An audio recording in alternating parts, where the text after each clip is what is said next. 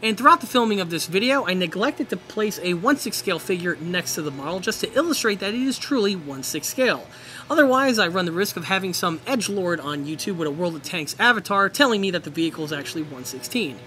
It's 1 6 scale, 12 inch figure, my hand, 1 6 scale.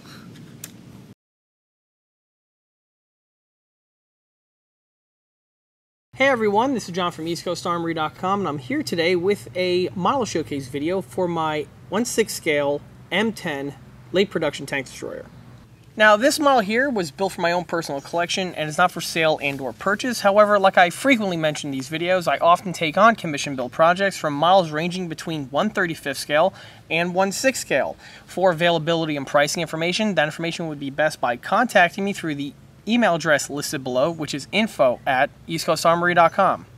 Now, this model here is an older build. It's been in my collection for a number of years now, and I've decided to take it out, dust it off, and do some minor repairs to it.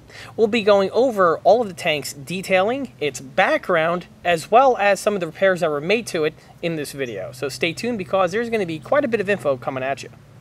Before we go any further, let's go ahead and take a quick walk around this model. And this here is the American M10 tank destroyer. The M10 was a dedicated tank destroyer which was developed by the US Army and saw service during World War II. Now, the concept of the tank destroyer goes back to the interwar period where the US Army were trying to figure out doctrinally how to utilize tanks in combat. Their concept of the tank was primarily being used as an infantry support weapon, where you have the tank supporting the infantry, where the infantry would encounter some kind of a fortification, a pillbox, or any, anything along those lines. The tank's job was to knock it out so the infantry can advance further. Now, the tank was supposed to be fully armored and have a gun that can deal with basically anything that it might come across. However, what happens if you encounter another enemy tank? Well, if that's the case, the tank could basically deal with it, but real, or I should say doctrinally, what you're really supposed to do is call in for a tank destroyer. Now, a tank destroyer was a dedicated vehicle whose job was solely to go out and hunt down enemy armor. With this type of role, the idea was that the vehicle was to be less armored compared to the standard tank, but have a higher velocity, more powerful main gun, and have the ability to be faster and more agile compared to the tank counterpart. With this type of vehicle, the idea was you can sneak in, ambush, and knock out the enemy threat, and then retreat and move away to another position, repeating the process. All American anti-tank tank destroyers that were developed and fielded during World War II utilized this concept, which is why we see vehicles like the M18, the M10, as well as even the M36. All three of these vehicles basically have the same type of idea in mind. All of them are open-topped to allow complete 360 visibility, which allows them easier to spot and engage a target. The armor on them is a little bit lighter compared to what's found on the Sherman. But with this lighter armor, the vehicles have a higher velocity main gun. With the M10's case, it was the 3-inch 76 millimeter. And with the M10's case, it had more speed compared to the Sherman counterpart. Now, the M10 for the base vehicle was utilizing the drivetrain and lower chassis from the M4A2 Sherman. The M4A2 utilized dual diesel engines, which were hooked up together, and this gave you your main power pack. The remainder of the suspension and the transmission were standard M4 Sherman compliant, which gave the M10 fantastic inner parts commonality with the other vehicles that were in theater. Now this model here is quite significant to me in my collection. The build itself is an older build. It was first started back in 2007 and was finished in early April of 2008. Now, the model itself started off as a Rotomold plastic kit from Battleground Vehicles, also known as Plastic Panzers. Now, if anyone is a fan of the channel and have watched a lot of my videos since I first started posting on YouTube, you'll note that this is not the first time I've done a model showcase video on one of these M10 tank destroyer builds.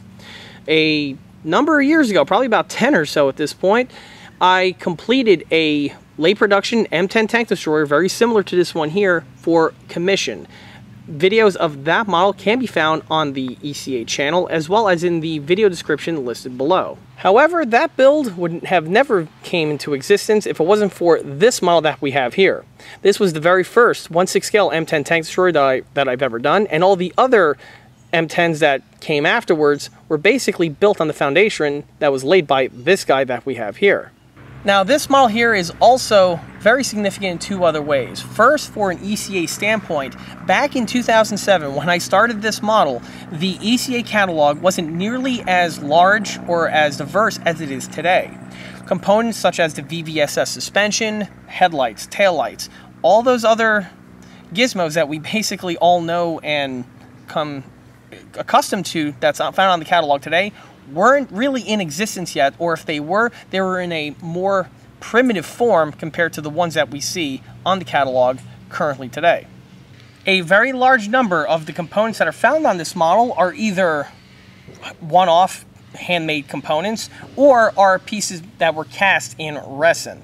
We'll be going over a large chunk of this information in this video, as well as discussing if the parts are either still in production or have been phased out and replaced with newer components, either cast in resin or have made the transition to 3D print.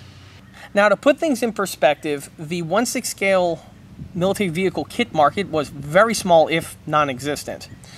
At this time, there were probably a handful of customizers out there and small time outfits that were producing fully assembled, pre built, one off models for individuals. But these came as, again, fully completed turnkey builds that detail wise were a bit on the softer side and were sold at a premium because of their handmade status. These models were comprised mainly of materials such as fiberglass, wood, and I believe in some rare cases even metal and plastic. But again, like I said before, these models came as pre-built renditions. Well, Battleground Vehicles decided to enter the market, but rather than going with a fully built one-off model for people, they decided to sell their models as unassembled kits, where you just get a hull, a turret, some basic running gear, and the remainder of the model detailing is really up to you. Now, one of the biggest problems that 1/6 scale kits had for many years, and arguably even still today, is the development of the costs are very cost prohibitive. Because of the sheer size of these components, trying to make components in injection molded plastic is very, very expensive. Now, over the years, a number of companies have come up with several concepts and design solutions to overcome the cost of developing a kit in this scale, namely parts to comprise the hull and the turret. Some have went with laser cut metal, ABS plastic, but for this kit's purpose, the company went with a material called rotomolded plastic. Now, the idea of using rotomolded plastic for large-scale models like this was actually first envisioned by a customizer and G.I. Joe collector by the name of James DeSimone. James DeSimone made several small G.I. Joe type toys made in this material, and they were very cost effective. Well, back in 2003 or so, James decided to release a M4A3 Sherman tank in this medium. The tanks came out, but because of their limited detail infrastructure that was out at the time, they weren't really that popular, and the material did need a certain skill set to work with. Most of the individuals at that time were mostly used to working with things like polystyrene, and working with rotomold is a little bit different. However, the rotomold concept was a good one, and if you knew what you were doing and had some good detail accessories to go with it, you can actually polish it up into a very nice piece. After the lukewarm response from the community, from the Sherman, as well as several of the other models that Mr. DeSimone released, the company and the rights were sold to another individual who opened up a new firm called Battleground Vehicles. They went ahead and took the rotomold vehicle and expanded the line even further, creating a large number of very unique subjects that were not going to be touched by other manufacturers. Such vehicles as the Puma, the Priest, the M3 Lee, and in this case, the M10 tank destroyer. Now these models were produced and made it to the market in the 2005 timeframe. However, the response was basically lukewarm. People either really liked them or they utterly despised them the running gag at the time on the 1 6 scale forums were that they referred to these models as milk jug models because of the material that they were made in. Now, one of the advantages that Rotomold does have is that it gives you a very large surface area that is hollow and it's an all-encompassing piece, i.e. there's no panels to assemble, there's no upper and lower hulls to fiddle with. The entire upper and lower hull is one solid piece and it's nice and hollow on the inside. The kit comprised of the hull, the turret, both made in this material. You received a basic set of non-functional VVSS suspension. I believe the kits originally came with injection molded plastic track links, which I'll go over in a minute. And that was basically it. If you oh, and some kits even came with a wooden dowel for the gun barrel that was turned. That was all you got with the kit. Everything else was on the hook by you, the builder. Now, around the 2006 timeframe, the owner had a mishap with his production company where they mistakenly used the wrong color plastic for his kits. He had a small run of kits that were made in a neon green Christmas type coloring as opposed to the dark olive drab green that he's required and specified. Well, because of this, he had an extra run of a handful of these units, and he sold them off at a massive discount, where for 150 bucks you get the turret, the hull, no barrel, and no running gear. Now, when I first saw the offer, I was immediately interested and jumped on it right away. You see, I've already built a couple of the Rotomold Shermans prior to this build here, and I had some really good results with them these models do have a lot of potential to them, and if you know a thing or two about scratch building and know exactly what and where to change and modify things, you can come up with some really good results. So I went ahead and acquired the kit, and finally it was time for me to jump on it. Now, when I built this model here, YouTube wasn't a thing yet. The world was a very different place from what we know it as today.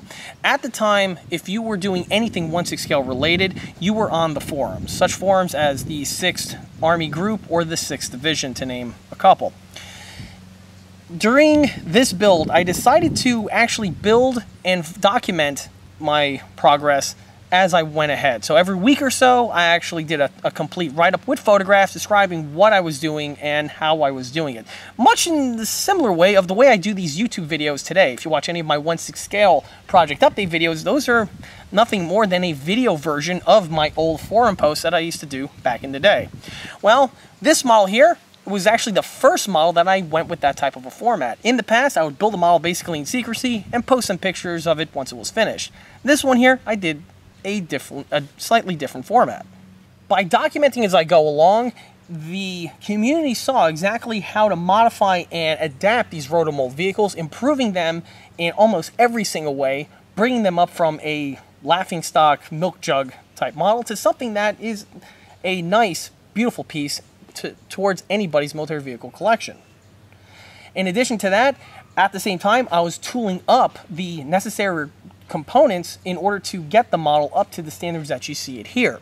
So every week or so I would have new parts, new molds made, new castings finished off, and the model just fleshed out, again, much the same way as you see it in the videos. After this model was finished, it had such high reviews and high popularity on the forums that it basically changed the opinion of the community towards the Rotomold vehicle. No longer was the Rotomold vehicle deemed to be a throwaway you know act of disparity because you really want a vehicle but you just can't get one or you can't get one for the price of some of the pre-built ones. Instead these things became a viable platform in order to enhance and further upgrade in detail. And that was really all thanks to can opener that we have over here. And to further rub salt into the wounds of the detractors of these kits right around the time this kit was completed i actually entered it in a IPMS model show. And at said show, this model here won not only first place, but also took home the Best of Show award as well. So It was a really nice feather in the cap for battleground vehicles at the time. Now, battleground vehicles is still in operation today, but be it in a more limited role. They still produce and sell the legacy kits such as the M10 Tank Destroyer, the M3 Lee, and the Puma to name a few. Their URL is listed in the video description below. Now the website is a bit on the dated end, however, they still are shipping models whenever orders are placed. I actually know of a couple individuals who purchased M10s from them very recently and they got their kits in no time. So even though the website may look a bit on the boomer end, the models are still shipping whenever orders are placed. And before I forget to mention, all of the photographs and information that I mentioned during the construction of this build are still archived on the internet today and can be found on the eastcoastarmory.com website. On the link listed below, will take you to the gallery that is a whole web page dedicated to this particular model here, as well as its construction. Now, after the model was completed, it was placed on display in the collection in the one corner of the shop, and it stayed there for basically 10 or so years. Now, even though the model wasn't really touched or handled very much, some of the details began to fall off throughout time, and this is true from when a model begins to age. This is true for just about every small scale plastic model out there, but it's again true for the big ones as well. So for a while I've been wanting to take it out, dust it off, and to patch up and make any small repairs that need to have been made. Well, in addition to that, in recent years I also now have a new display area where it's a better dust-free and debris-free environment where it's a better place to keep a model like this on display and that's where the model is going to be going after the filming of this scene. Now, when it came to what was damaged and what was repaired, I'll be going over this once I start going over the details of the model. And, well, with story time now out of the way, let's go ahead and do that. Let me bring the camera in closer so we could start with the model's functions. Now that I have my rubber gloves on, we could do a proper model showcase video. So, starting with the suspension, the VVSS suspension are all comprised of resin castings, and on this model here, they are fully functional. These resin castings were my first foray into making a fully functional VVSS set, and these sets here are actually technically a one-off because the builds that came after this one here, I went ahead and took the VVSS and modified them further, making them better detailed and also still keeping with the functionality of them. These units are definitely the predecessor to those sets, and the M10 here was actually the first 1-6 scale model that I've done in a static configuration with a fully functional suspension set. This would be a feature that I would incorporate on many other builds that came after this unit here.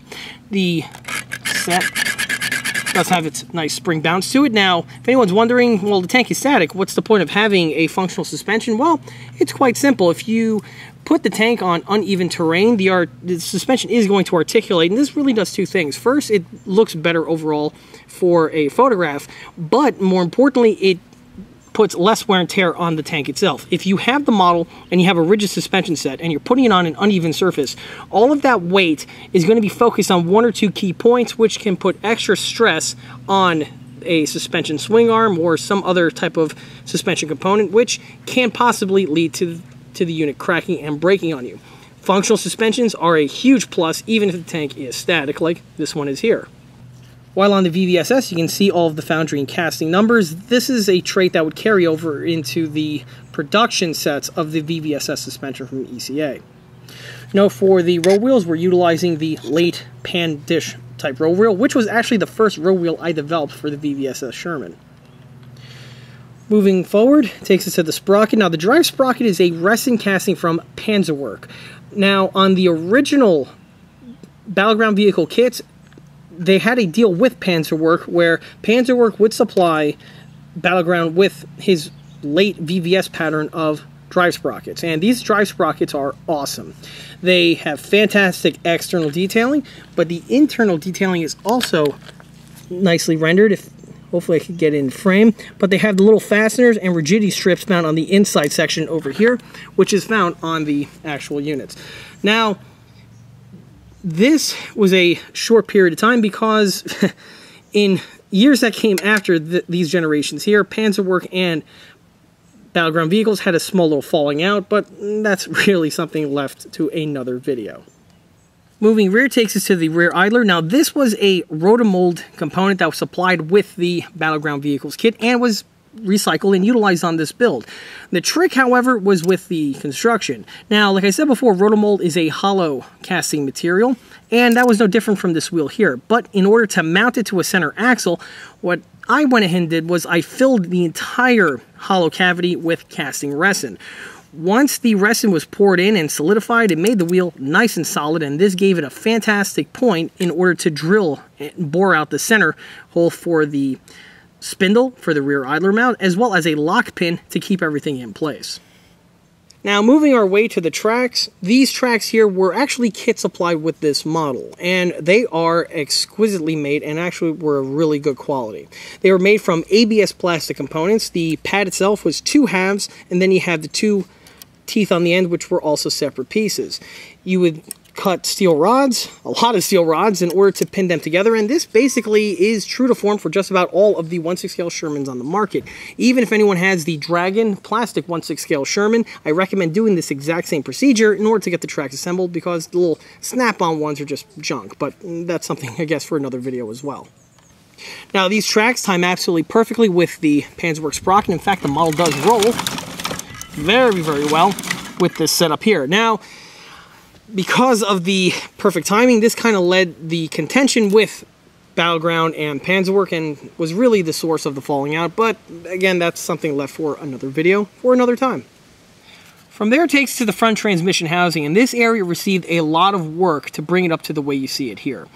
The original Plastic Panzer's hull has this unit integrally molded in, and it does have the basic overall shape of the cast transmission cover, but it could use a little bit more work. This unit was built up with lots of epoxy, sculpting it to the shape that you see here for giving it its final overall look, as well as its cast texturing, which you can see here. Now, over here we have the final drives. Obviously, these are absolutely required in order to fit on the Panzerwerk or any type of sprocket. Now, these units are actually scratch-built counterparts that I've done myself in future builds, I went ahead and forego scratch building these bits and replaced them with the units from Panzerwerk. Panzerwerk does have these final, or I should say did have these final drives cast in resin, and they were exquisitely made and were a perfect drop-in solution. For this model here, for one reason or another, I just went with a scratch build route. It's also relevant to point out that the Panzerwerk sprocket and the Panzerwerk final drive were designed as a set to work in unison together, and once you mount them on, they give you the correct spacing required from the final drive. Moving back towards the center portion of the transmission cover, you can see the added detailing. Now, some of these details are standard on the Sherman family, but others are more specific for the M10 series. Starting with the tow hook mounts, these ones are standard Sherman, and these pieces here are fabricated out of chunks of resin and were just one-offs made for this build. Now, if you look on the corners here, you'll see these bits of brackets that have been added. These are step are, are step sections where you can actually put your foot on to climb on top of the vehicle. Now, while on that note, the M10 has this specific unit that we have here. Now, these units are found on the regular Sherman types in several different sizes. Some are actually integrally molded towards the side section here, and this one here is the later type where it's just a little bent piece of steel that would be welded.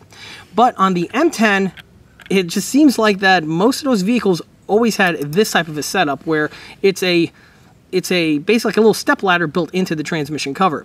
It is comprised of two pieces, and on this model here, these two pieces are made from soldered bits of steel. They were then mounted to the model and sculpted weld beads were added to complete the look. While on that note, another M10 or M36 family specific part is this guy that we have here. This is another step section that is welded to the front transmission cover. And again, it's just one of those fittings that seems to be more prevalent on the M36 and M10 family of vehicles. Now, moving from the step points takes us to this little clamp. This would be a tow cable clamp and is found on just about all of the Sherman variants, but on the M10, it's in a slightly different location. On the Sherman, it's more in this spot over here, but on the M10, it's a mirror image. Now, this unit here was one of the ones that have been offered on the EastCoastArmory.com catalog for a number of years.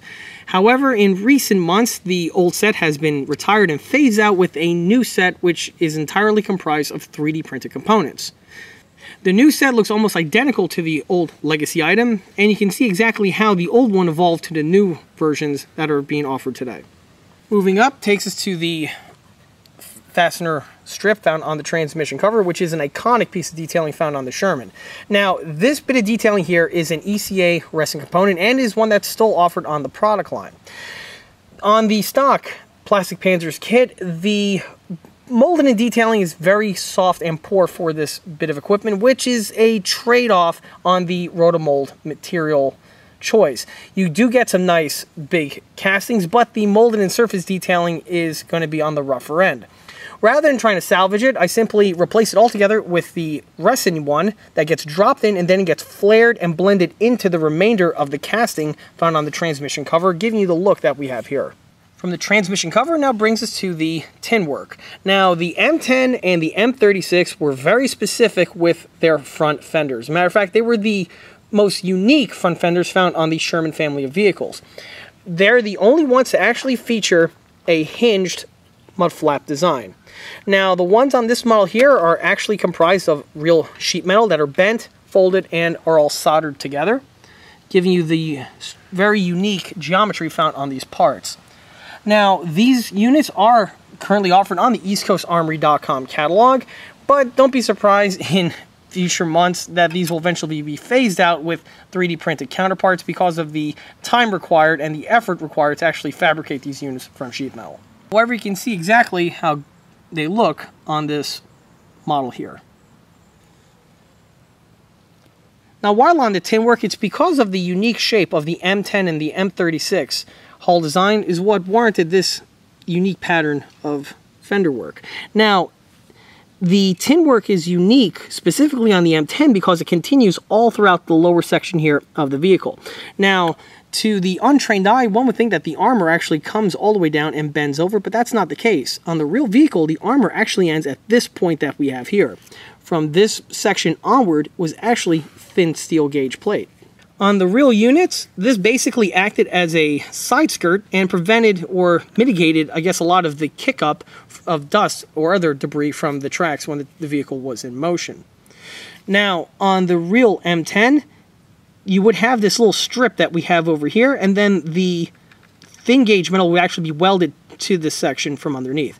Also on the real M10, there are several vertical braces that descend down from the upper hull, or I should say the sponson, that reinforce and make contact with this little sand skirt that we have here. Another thing to point out is if you look at a lot of post-war usage of the M36 Jackson, namely in Indochina, or even during the Korean War, you'll notice that they amputated and cut away a lot of this section over here, making better access and room to get to the tracks. Now on the Plastic Panzers kit, this was one of the sections that needed to be improved upon. The kit has this little section pre-molded into the upper hull. Now this can lead to problems visually because when you assemble the suspension and put the track on, the track is going to be directly below this lower section here that descends downward. Well, in order to address it, it was actually a very simple one. I just basically totally concealed it with this little strip here of plastic. Now, luckily the plastic Panzers, or I should say the Battleground Vehicle kit, the molded in piece was on the shorter side, which was great because then it just allowed me to add the thicker, or I should say the wider section here of plastic, giving the model the correct look for the upper hull here. It conceals most of the track, which is as per the real vehicle, and I didn't have to do any other sort of cutting or modifications. The stock unit is still there, but it's thoroughly concealed and covered up with the what would be tin work on the real vehicle. The same is also true for the rear section here, and you can see how it continues with this portion rearward. Now on the rear section actually came to be a blessing because on the real M10 there is a cutout in this portion for clearance of the exhaust manifold and this was more easily done because I just extended the lower portion down further. The amount of material removed basically is where the stock plastic Panzers unit originally was. Now while on the rear section here you can see the idler mounts. These are the resin cast units that are still offered on the eastcoastarmory.com website. Only on this model here, they were literally brand new. In fact, I developed them for this model specifically. Detail-wise, they haven't changed one bit and look identical, but what has changed is the section that the idler mounts to. Now, if you notice on this model here, there is a little bit of slack to the track, and that's because of the way the idler is mounted. On this model here, there's no idler adjustment capability. The mounting rod comes directly from the idler mount through the rear idler and ends in this section here that's concealed underneath this cover cap. Now, on the vehicles that came a few years after this one, I went ahead and modified the design of the idler mount system to have an adjustable tension idler mount. The idler mount detailing itself is identical to this one over here. It's the same mold, same castings, but I just add an extra bit of equipment to give you that adjustability nature to it. Now for this model here, I'm not going to be redoing everything and I'm just going to keep it as is because the track tension is good enough for what it needs to be. Back to the rear of the vehicle takes us to the remainder of the detailing, which consists of the tow points on either side here. These are just, again, one-offs fabricated from chunks of resin. And then we have the tow hitch assembly. Now the tow hitch assembly consists of three components. We have here the tow hitch mount, the tow hitch extender, and the actual tow hitch. Now for the longest time, all three of these components have been offered on the EastCoastArmory.com catalog. However, within the last year or so, the tow hitch itself has been completely phased out and replaced with a new 3D printed counterpart. The old one here is still fully functional, as are the new units. And soon, I'm going to be phasing out the tow hitch mount that's found on the current catalog. Now on this model here, the tow hitch mount is slightly different compared to the ones found on the Sherman. If you'll notice that on this unit, the top and the bottoms are both plugged off with a piece of steel plate, while on the Shermans, they are actually hollow. This is just one of those small traits that I've noticed uh, while studying the M10 tank destroyer. Now from the tow hitch brings us to the exhaust manifold and this is one of the more unique aspects of the M10. Because the M10 utilizes the drivetrain from the M4A2, it has the same twin diesel engine setup and you do have the same exact exhaust manifold. Now this exhaust manifold is a resin casting and is listed on the EastCoastArmory.com product line. The units are still in production today and I don't see a need to replace them anytime soon. Further up, you can see some of the interior detailing where we have some mesh work. Now on the real M4A2 or the real M10, there would be two large radiators mounted directly behind the mesh work that we have here. However, on this model, there's no interior engine compartment detailing, so the radiators are just not present, but the protective mesh screens are. Note that there is a center bulkhead that segments out the two sections on the compartment. Moving up from the exhaust manifold takes to the rear plate detailing. Now, a number of the tools on here are scratch built, and some of them are cast in resin.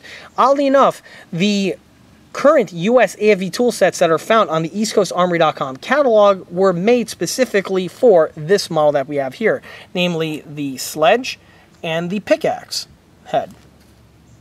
The other components are all one-off scratch builds, which would include the pry bar, the shovel, which is actually made from metal for both the spade and the handle end, the axe, and the wrench is actually the current off-the-shelf unit from ECA and was added when I was repairing this model. You see, when I first built this model, I did not have this piece developed yet, and this was something that I've developed later on. However, I did have the tool mounts fastened in place as they should be there on the real vehicle, and when I was cleaning and refurbishing the model, I had a spare unit in my stash from the, which was an offcast. I couldn't use it for sale, so I might as well clean it up and use it on this model here.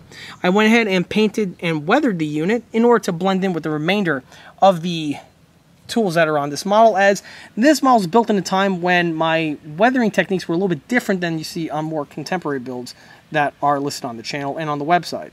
So in order to keep everything within continuity, I went ahead and use the same system that I used all those years ago. Now on the axe section, on this mount over here, it popped off from age. This was repaired, bring it back to the look that you see here. Now, while on this corner, at some point there must have been something that rubbed up against it because there was a small paint chip in this section, and this was just blended back in with the paint work. Moving up further, you can see the taillights as well as the taillight brush guards. Now these taillights were the original opaque resin sets which were found on the ECA catalog for a number of years. They were eventually phased out with clear resin inserts made in resin, and now within the last few months, these have been completely and utterly replaced with sets made from 3D printed components. The brush guards are currently for sale on the catalog and are made out of soldered together metal, but these two are also going to be phased out at some point. From the taillights takes us to the lift points. Now the lift hooks on this model are actually made from bent sections of aluminum rod that were then mounted to the rear plate and blended in with the with the epoxy that we have here. Now on unit on builds that followed this one, these were replaced with cast resin components that have the same look and slightly better detailing. And those are the units that are still on the catalog as of this filming of this video. Back to the tools, you can see the tool mounts. Now all the tool mounts are fabricated out of bits of metal, and this has not changed even up until today. Still fabricated much the exact same way. Notice on this rear section here, we do have some fasteners going down the section. This is true for the M10 family. And we do have the little tie downs that are found on the real vehicle. And on the real vehicle, leather or canvas straps would be used to secure the tools in place, preventing them from working loose while the vehicle is in motion. Now, this would be a detailing that you would see on more of my recent U.S. military vehicle builds, but on this model here, I'm just going to leave it the way you see it.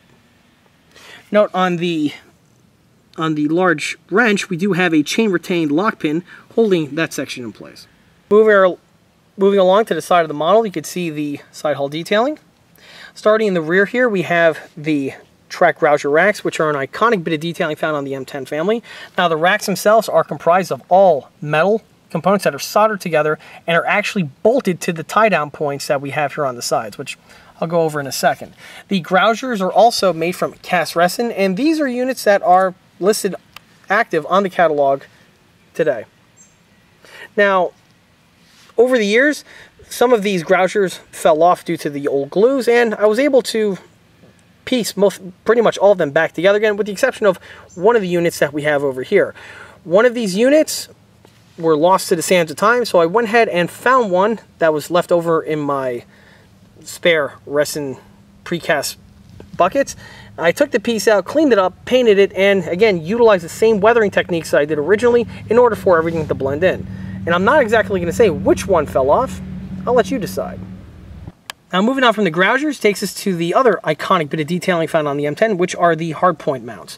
Now on the M10, there are several mounts found on the front, sides, and the turret. And these were for an applicable armor system that was to give some standoff protection of the armor plate and giving the vehicle a little bit more protection. But for one reason or another, these plates were never really developed or were ever fielded, but the hard points were still there and stayed on the M10 all the way up to the end of its life and even through the M36 Jackson.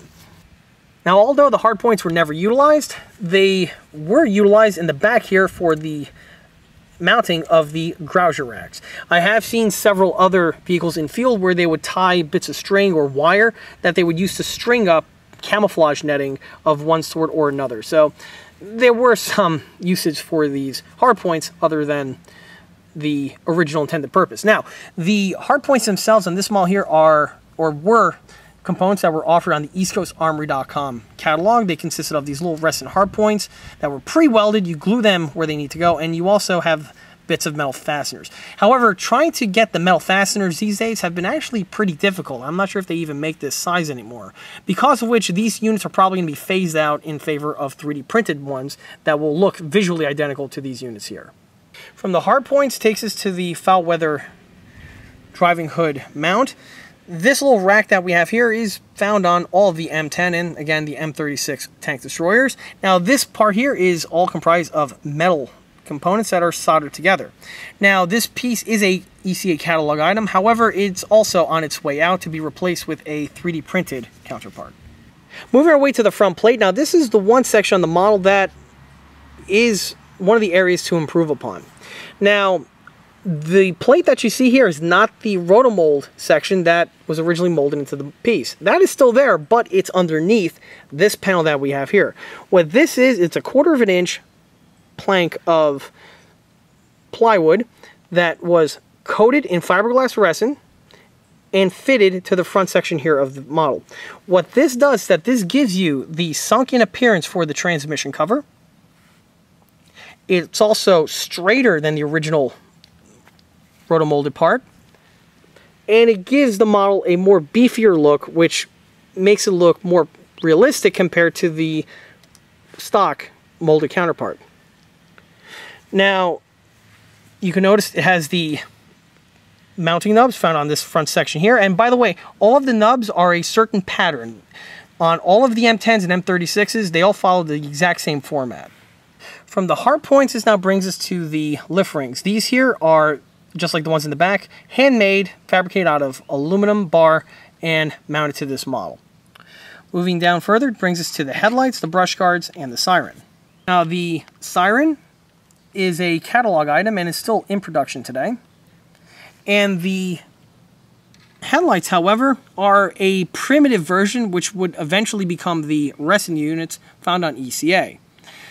These ones here were modified from another light that I used to offer, and I would modify it into the shape here of the US AFV bow headlight with the blackout light.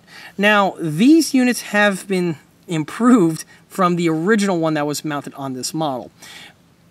Originally, the lens was a handmade vacuum formed dome piece, and this little blackout section here was not present. In its place, I just had some clear epoxy molded into form a lens. At the time, I thought that this cover was just a blackout cover, and below it was just a standard bulb, which is not the case.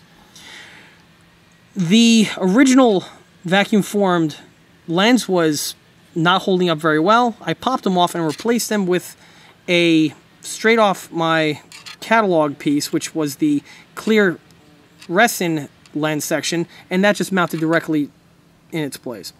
For the dome, or I should say of the blackout light, I sanded away the epoxy that was present and I replaced it with one of the clear resin blackout lens faces, again from two refuse units that I had in my in my scrap bin. Now in recent months, the old ECA resin and clear resin headlight sets have been phased out. In their place, a new set have been developed, made entirely of, again, 3D printed components. Those are the current sets that are listed on the catalog. While on that note, this brings us to the brush guards. Now in this model here, the brush guards are all made from soldered bits of strips of steel. And these two have also been phased out with 3D printed parts as well. Now, over the years of the model being stored, I believe one of my cats probably brushed up against this part because the brush guard did have some damage to it. Some of the glue joints popped off and there was a bit of chipping found in this section over here. These were all repaired, glued back together, and the paint was then all blended back leaving for the appearance that we have on this section. While on that note, on this weld bead, on this portion over here, this too seemed to crack off for one reason or another.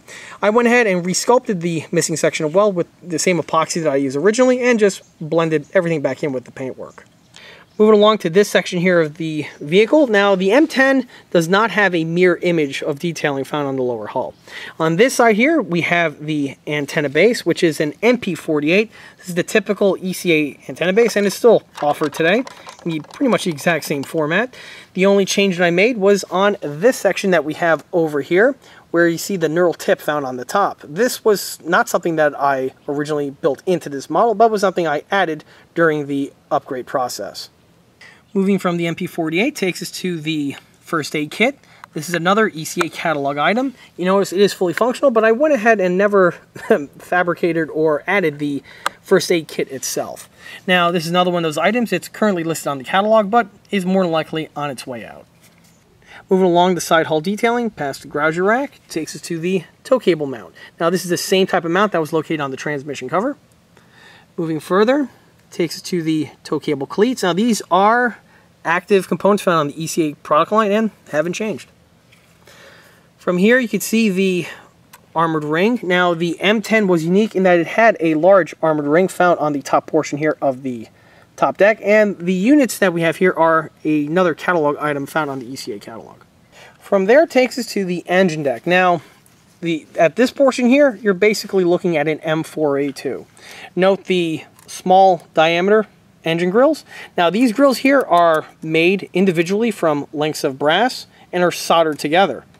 This is actually very similar to the way they're done on the real vehicle, only on the real vehicle, instead of being brass rod, they're actually elongated brass stri or steel strips that descend into the engine bay, and then a single weld bead is what holds everything together. If you look at plastic models, they like to have a bar that's rendered across these sections here, and that is technically a mistake. In real life, it's not an actual steel bar, it, it's literally just a weld bead. The reason why you see steel bars rendered on a lot of the 135th scale kits is because it's what they can accomplish with the type of tooling that they're working with and with the scale that they're modeling in.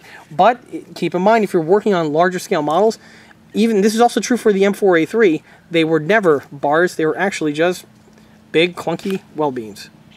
One interesting to point out about the engine deck are the grab handles that we have for the engine grills.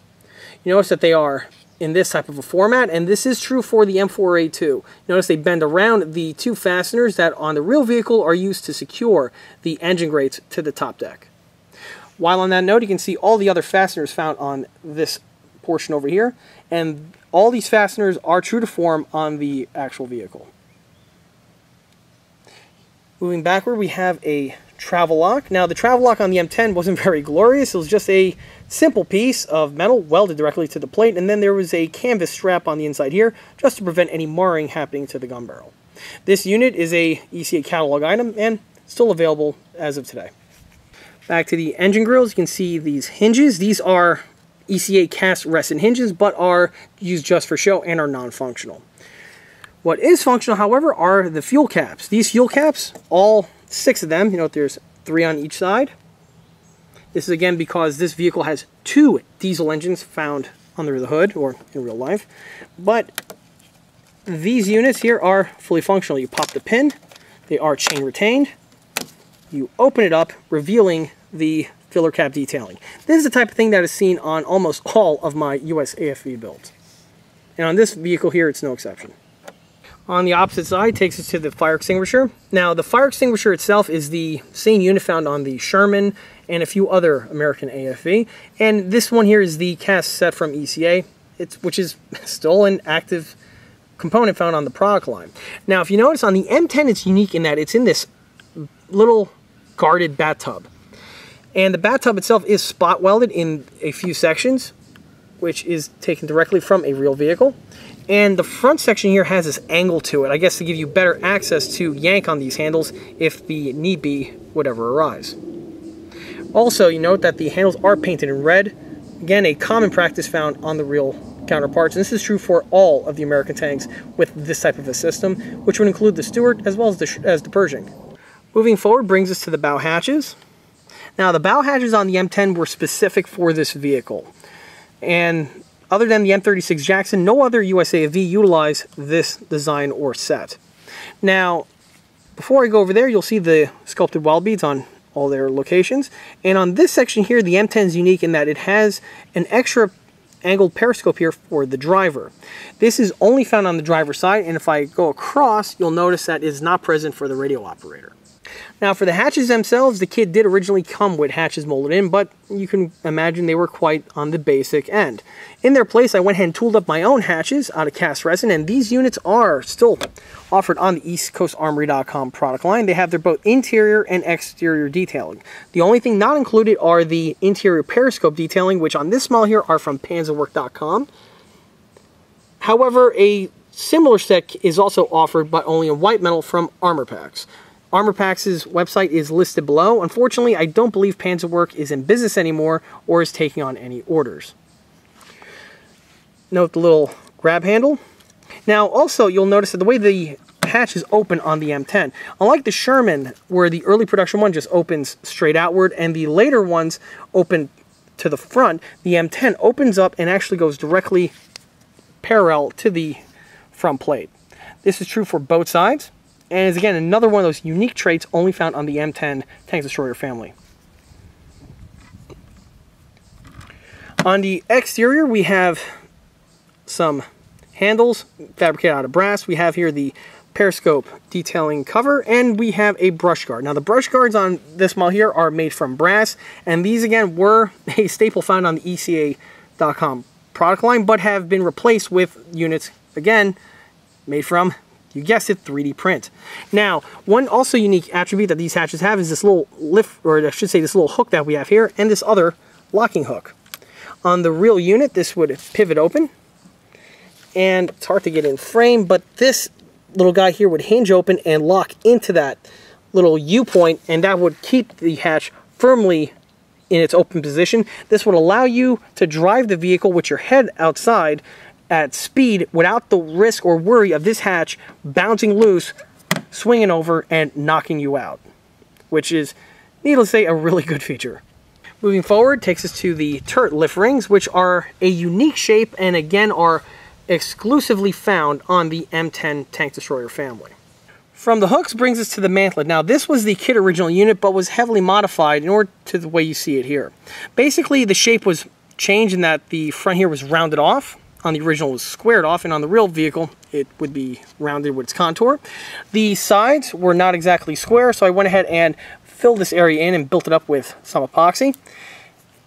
And the other detailing all came like the weld beads, the little molded in section over here, as well as the molded in section for the optic. Notice the optic cover is fully functional and was uh, scratch built one-off piece. The other modifications came on the inside where I added a tube mount in order to slide over the main gun.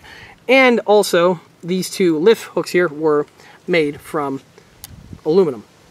Note the way they would be welded on the real unit. This was a all-in cast section that would be fitted to the mantlet and then just welded in place.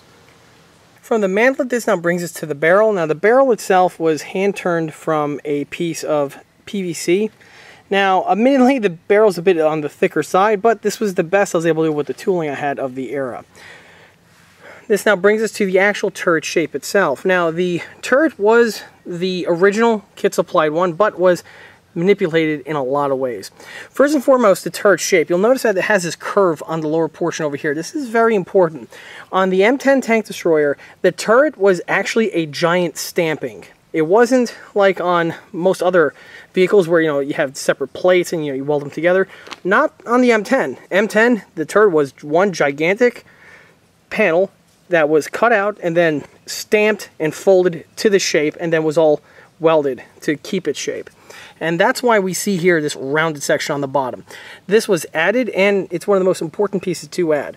Second piece to add was on the front trunnion here. The stock kit did not have a trunnion. The section of the turret just came straight down, rounded off, and went right down like this. Well, in order to have the pivot point for the main gun, a trunnion was fabricated. Now in this angle you can see exactly what I'm referring to. There is actually a cylindrical section that goes from this weld all the way to this weld over here and that's where the round section is which is required because one it's on the real vehicle and two it gives you the pivot point in order to have the unit actually go up and down. This was fabricated out of a length of PVC tube with then sheet styrene added to the sides giving it the sealed off appearance that we have here. On the PVC tube was heavily modified with having sections cut away as per the real unit giving it the proper shape. The next section, which was extremely important, was the rear plate here. Now, with this being a late production M10, the turret's geometry would be as follows. Where if you notice it goes up in this section over here. On the mid and early production M10s, the geometry was more of a diamond shape where we have an angle going this way and we had smaller counterweights one of the problems with the mid-production was seeing that those counterweights weren't heavy enough, so they redesigned the counterweight system to the large duckbill setup, and because of that, the rear plate of the turret was changed. Now on the model here, the counterweights were integrally molded to the turret, and on the top portion, we actually had that infield armor roof, which a lot of crews fabricated. For this model here, the top armored roof was pitched, and in order to give the vehicle its correct turret shape, the rear wall was completely amputated with the counterweight still attached. New panels were fabricated in the exact shape and size which was required in order to fill in the now absent geometry. Once the new pieces were fabricated, which by the way were quarter inch thick panels of plywood, which were then coated in fiberglass resin and smoothed flush, everything was then blended in with the welds as well as with the remainder of the bodywork and the counterweights were then mounted. Now the counterweights received a lot of work. First, the original backing that, or I should say the original wall which they were molded onto, were cut off, cut off completely. Just like with the rear idler wheel, these were filled in completely with casting resin. Once the units were filled in with resin, I then went ahead and started the rework process. First thing I did was I separated them as they were molded as one piece. Then I went ahead and carved and sculpted the inside portions here of both of the counterweights. Now if you notice, they are left and right hand specific. This is true even down to the casting numbers. The one on the left hand side is E8011, while the one on the opposite side is E8010. The big difference between left and right is also with how the scallops are cut in. Notice on this unit here, the scallops are segmented with a large center bulkhead which separates the two, while on the opposite side, the scallop is one gigantic cutout on this section. This was all, again, hand carved and hand sculpted with epoxies and other body filling techniques. The remainder of the details, namely these straps, were fabricated out of metal, and they are actually fastened to the rear wall via the fasteners that we have here on the inside. One interesting detail about the late pattern of counterweights is this little strap that we have here. Now this doesn't look like much, but it's actually insanely important. The, the purpose for this strap is so that when the turret is rotating and it makes contact with the antenna base, the antenna base is going to flex out of the way. And if that strap is not there, the antenna wire is going to fall right in between these two sections over here and get stuck. Which is why they added this little plate in order for the antenna just to brush over it if the turret is rotated in its path. It's a very clever and sim very simple technique indeed. Now on the inside, back to the wall, you'll notice that there's a large ovular hole cut out on this portion over here. This is as per the real unit. And I'm still unaware of the actual purpose of this hole. If anyone knows, feel free to put it in the comment section listed below. Now this brings us to the turret interior detailing. All of the interior detailing you see here is either comprised of metal handmade bits or cast resin components. Here we have a barrel clamp for a spare M2 HB50 caliber barrel, which obviously would be changed out if this one is overheating. Note it is in the empty position, and this one here is handmade out of brass and is non-functional. Moving down takes us to the ammo racks. These here on this model are comprised of resin castings. Now recently these were phased out and replaced entirely with units comprised of 3D printed parts. This guard that we have here, piece of, of aluminum, I believe, and here we have another rack on the opposite side. Now note the shells on this model. These are also components on the EastCoastArmory.com product line and have been unchanged since the release of this model here. Over here we have a metal rack. This rack is to house spare magazines for the M1 carbine, and these straps here is where you actually store the M1. In addition to the M1 carbine, a Thompson can also be stored or stowed in the same location. From the magazine holder takes us these large grab handles found on the inside. Down further takes us to what I believe is a map case. Now this is made from metal and is actually fully functional. This was clearly just a one-off piece and it's not something that I've ever made for production, but this may change if I ever do another M10 but more info on that is to come. On this side here, we have the mount for a fire extinguisher. Note it is empty. And we have some other racks and tie downs for other sorts of equipment. Here we have these interior storage boxes for more equipment. All the configuration layout you see here is as per the real unit. On the opposite side, we have here a mount for a gooseneck flashlight, some more boxes. Note this box here is slightly different from these two. This here is for a panoramic sight for indirect fire. The M10, just like with many U.S. tank destroyers as well as self-propelled guns, can be used as a dual purpose role. Now, oddly enough, on this model here, I have the mount but not the gun, or the optic. The optic was actually something I recently developed for a M27 recoilless rifle. It's the same exact optic, but for this model here, I'm going to leave it off. Some more interior detailing. Note the 3-inch main gun. This unit here is one resin casting and it's actually sold as a kit found on the eastcoastarmory.com catalog and it's still in production as of the date of this video. Here we have the elevation post. Now on the real gun you would actually rotate this handle over here and this would rotate and spin this turned rod which would actually raise or depress your main gun. Over here is actually the gunner station and in here we have the main optic which is used for direct fire. Right next to the elevation position is the turret rotation crank wheel.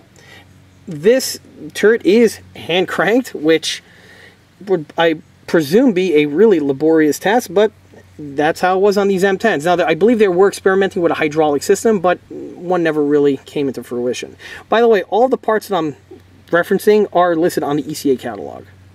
On this side here, which would be the loader's position, we have these two locks. These locks are safety locks, and when you engage them, prevents the turret from rotating. There's actually a really cool video on YouTube. I'll probably put the link in the video description, which shows the crew positions in this vehicle when they're getting it ready for combat roles. First, these two units are disengaged, and the seats are also flipped up where they're out of the way. This is how you would ride into in your transit mode. And then when in combat, these would flip up, lock in the upward position, and then you have more free space in the fighting compartment to do what you need to do. Now, these seats are also on the ECA ca catalog as well as the turret locks. Note, I also have to fabricate the turret ring because this was a very important piece of detailing which is absent on the stock plastic Panzers unit. The turret ring on this model is very important because it gives you the interior detailing, also gives you the space to mount on the interior detailing components, but more importantly is what I use to secure and mount the turret to the body. The turret has a lock and key system like a 135th scale tank, and this was all facilitated by the neck that was fabricated. Back on the exterior, here we have the tarpaulin clips and the rail. Basically, when you would pre prevent any water or rain from getting inside the vehicle, either when it's being stowed or in transport, a rubberized canvas would be positioned over the top over here, and these units would bend or I should say fold up and clip into place. Same for the ones found on the rear section. Now this one here suffered some damage over the years, so a new casting was made and painted exactly like the old one, dropped in place, completing the repair. From here brings us to the M2HB. Now the gun mount is a unit on the ECA catalog. Now the M2HB itself is a metal version from the company Dragon in Dreams, or known as DID. At the time, these machine guns were pretty popular. Detail-wise, they're eh, they're okay. They're not the best uh, uh, uh, kit on the market, even though they are made out of metal. Eh, that's a bit misleading. The unit itself, at best, again, is all right. Now, the it's sitting on an M23 cradle. Now, at the time, I wasn't able to figure out why the M23 cradle with its ammo can was not working with the M10, and that's because the M10 actually had its own specific gun mount, where the cradle mount sat above the turret in order for the ammo can for its clearance. On the model here, the way I used the M23 is I simply omitted the ammo can. Keep in mind, on the real M23, the ammo can is a tray and it slides directly into this section over here, so having it with this configuration is not necessarily inaccurate. At some point, I probably am going to develop that cradle for the M10, but for now and for the last number of years, this setup here works just fine. You'll notice that on this M2, I mounted on an optic, which would be found on, or was an accessory for the M2HB, and this is another set found on the ECA catalog. With the turret removed, you can see the hull interior now in better view. Note the locking tabs, like I mentioned before, as well as the armored ring. Now I guess we'll start from the front and move our way to the back. This model has a complete hull interior detailing where we have the driver's position, the radio operator's position. Here goes the Sherman's transmission housing, the drive shaft shroud, and these two units here, unfortunately its purpose mistakes or is escaping me, but I believe it was the fuel cutoff if I'm not mistaken. With the camera off the tripod and with the hatches open, you get to see the interior now in more light. There's the instrument panel, the driver's position, note the pedals below. We have the stick shift, as well as the steering levers. Note all of the headlight electrical systems. And here we have the SRC 508 radio. Now, all of the components, basically the transmission, the seats, the driving apparatus, the, the instrument panel, all of these components are listed on the eastcoastarmory.com catalog. And all of them were designed and tooled up specifically for this build. Moving back, we have some spare headlights. Note these ones still have the the original bulb system that I fitted. I'll probably change this out at some point down the road. But for now, I guess it's all right. Further back, note the interior bulkheads found on either side here of the of the hull.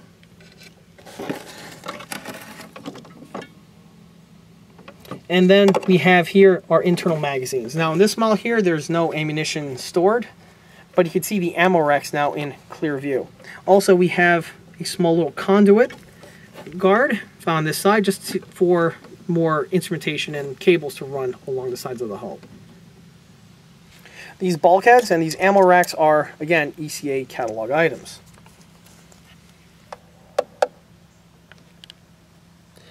Moving back further, we have here our engine oil radiator, another ECA item. Note all the brass fittings.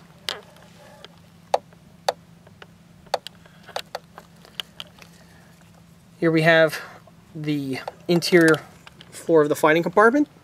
All the diamond plate is present.